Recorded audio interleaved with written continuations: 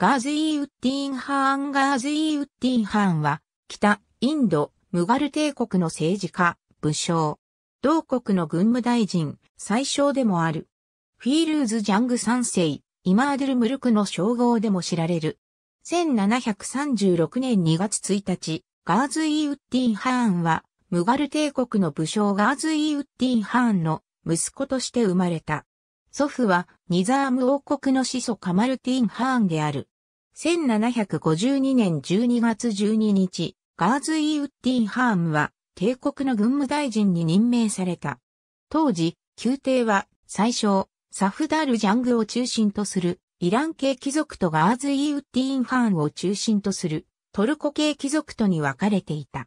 1753年5月に抗争に敗れたサフダル・ジャングが宰相職を辞して、帝都デリーからアワドに引き上げた後、彼はマラーターのシンディアやポール・カルケと手を組み、サフダル・ジャングの後継者との争いにも勝利した。1754年6月2日、ガーズイーウッディン・ハームは、皇帝アフマド・シャーに最小位を要求したが断られたため、その母ウドハムバーイと共に盲目にして廃した。新たに擁立した皇帝アーラムギール2世から最小位を受けた。さて、ガーズイ・ウッディン・ハーンは権力を一手に握ったが、現実はそううまくはいかなかった。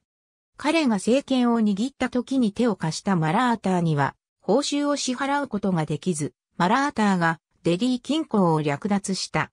また、自身のバダフシャーン出身のトルコ系特殊部隊が、給料の未払いで反乱を起こし、彼の服を引き剥がして反乱にして通りを引きずり回し、繰り返し拳で殴って、給料のことで罵倒を浴びせる事件が起きた。その上、デリー周辺で勢力を拡大するナジーブ・ハーン率いるアフガン系ローヒラー族を止めることができなかった。1756年、ガーズイ・ウッディーン・ハーンはこの状況を改善するため、ローヒラー族からラホールを奪還した。だが、ナジーブ・ハーンはアフガニスタンの君主でアフマド・シャー・ドゥ・ダーニーと常に連絡を取り合えるようにしており、その行動は挑発のほかならなかった。同年12月、アフマド・シャーは、その要請を受け、デリーへ向けて進軍した。1757年1月、アフマド・シャー・ドゥ・ダーニーは、デリーを占拠し、2月には略奪と殺戮を行った。帝国になす術はなく、同様の行為は、マトラーやブリンダーバンでも行われた。4月、アフマド・シャー・ドゥッラーニーは、デリーから略奪品と共に撤退し、ガーズ・イー・ウッディーン・ハーンは復職したが、監督官としてナジーブ・ハーンが置かれた。こうして、ガーズ・イー・ウッディーン・ハーンは、ナジーブ・ハーンによって帝国の実権を奪われた。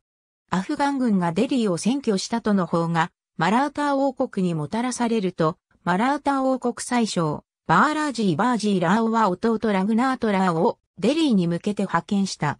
ラグナート・ラーオの軍勢は行軍の過程で大軍となり、最小ガーズ・イーウッディーン・ハーンもこれに味方し、8月11日にナジーブ・ハーンの軍勢はラグナート・ラーオの軍勢と対決した。数の少なかったローヒラー軍は敗北し、ナジーブ・ハーンはデリーから撤退した。しかし、その後、ガーズ・イーウッディーン・ハーンは手駒たる皇帝アーラムギール2世がアフマド・シャー・ドゥ・ダーニーの手に渡るのではないかと恐れるようになった。1759年10月、アフマド・シャーがラホールを奪取してデリーへ向かうと、11月29日に彼はアーラムギール2世をフィールーズ・シャー・コートラの近くで殺害した。そして、クグツの皇帝として、シャージャハーム3世を擁立した。だが、アーラムギール2世の巫女を取り逃がし、12月に彼はシャー・アーラム2世として即位した。1760年1月、アフマド・シャー・ドゥッラーニーは、ナジーブ・ハーンと共に、デリー近郊で、ダッタージーラーを率いるマラーター軍を破った。そのまま、アフマド・シャーは、デリーに入城したが、ガーズ・イーウッディーン・ハーン特靴のシャージャハーム3世は、その地位にとどまった。3月、サダーシブ・ラーオバーウラが指揮するマラーターの大軍が、デリーに進軍しつつあるとの報が入ると、アフマドシャーはデリーを離れ、アリーガルへと移った。8月2日、サダーシブラーを率いるマラーター軍がデリーに入城した。だが、10月10日にサダーシブラーオは裏切り、9月の皇帝シャージャハーン3世を廃位し、彼を擁立した宰相ガーズイ・ウッディン・ハーンは失脚した。これは、マラータ王国宰相、バーラージー・バージー・ラーオが、シュジャー・ウッダウラにアフガン軍との調停を委ねる代わり、彼が帝国の宰相になれるよう助力を秘密裏に約束していたからだった。